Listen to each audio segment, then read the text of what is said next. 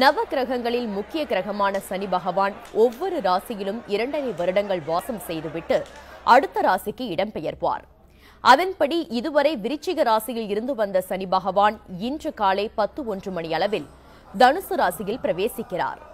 இந்த பெயர்ச்சியை முன்னிட்டு சனி பகவான் தலங்களில் பக்தர்கள் திரண்டு வந்து சனீஸ்வரனை தரிசித்த வண்ணம் உள்ளனர். அதிகாலையில் சனீஸ்வரனுக்கு பல்வேறு அபிஷேகங்கள் நடைபெற்றன.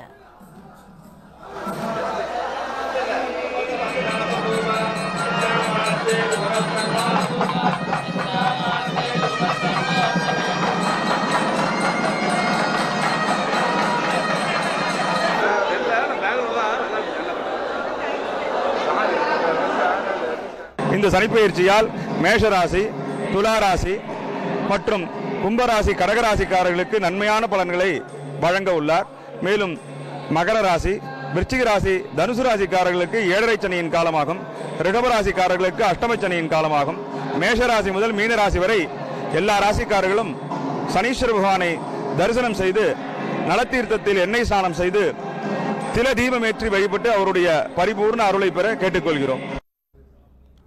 முன்னதாக தர்பாரன் ஈஸ்வரர் ஆலயத்தில் உள்ள சனீஸ்வர பகவான் உற்சவமூர்த்தி தங்க காக்கை வாகனத்தில் நேற்று இரவு எழுந்தருளி பக்தர்களுக்கு அருள்பாலித்தார்.